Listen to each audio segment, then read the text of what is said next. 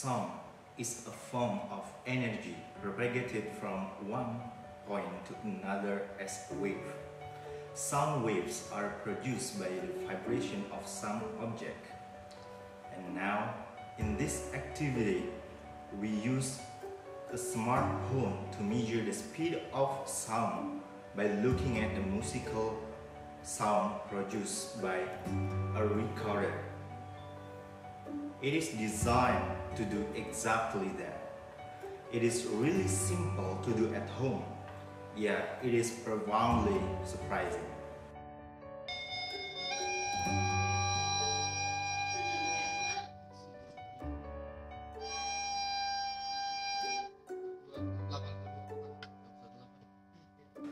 The equipment that we use are ruler, a recorder, and a free application of phyphox. We can find the application of phyphox in the App Store and the Play Store free. You may also use another application like Advanced Spectrum Analyzer Pro that you can find on Android on Play Store. The first part of this experiment is to measure the frequency of the musical sound produced by a recorder and this we use the phyphox to measure the frequency.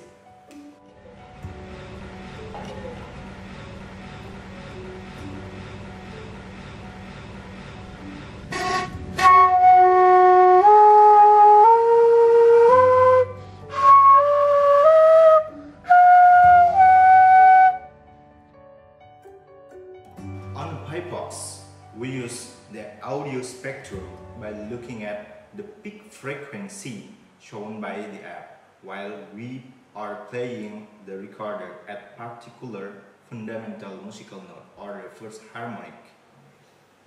We record the frequency for each fundamental musical note, first harmonic shown by the phyphox.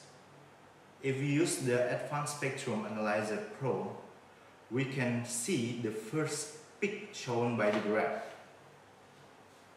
And the second part of this experiment is to measure the air column of each musical note.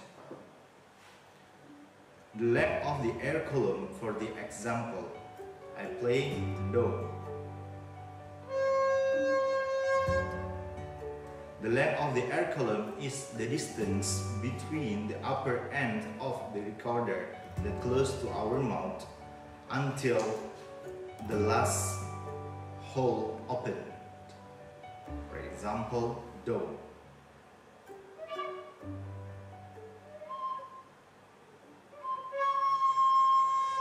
It means the distance between this end until this end.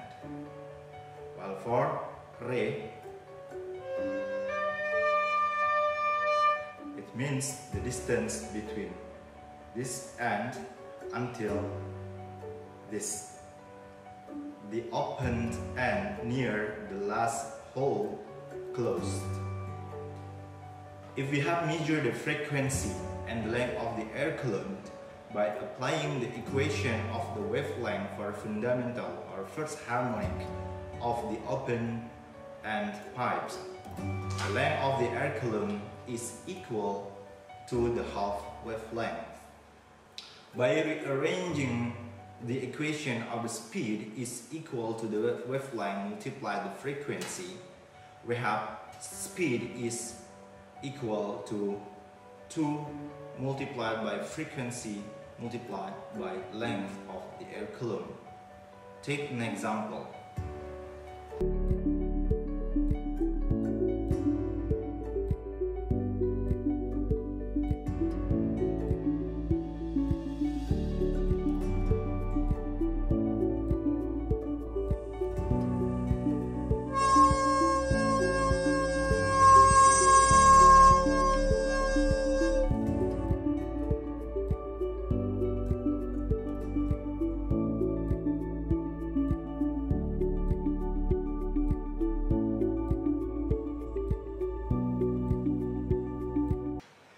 This activity is really simple to do at home, even though there are some considerations that need to take account. However, this is not the point. The key point is this activity can give the students the real experience and a, an opportunity to uh, at home to directly measure the speed of sound wave. This activity can also be used to show the student the amplitude and the frequency for the concept of the loudness and the pitch of the sound wave.